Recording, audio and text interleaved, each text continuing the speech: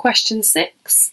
On the squared paper below, plot the points A, B and C. So A is 5, negative 5. So 5, negative 5, so that's A.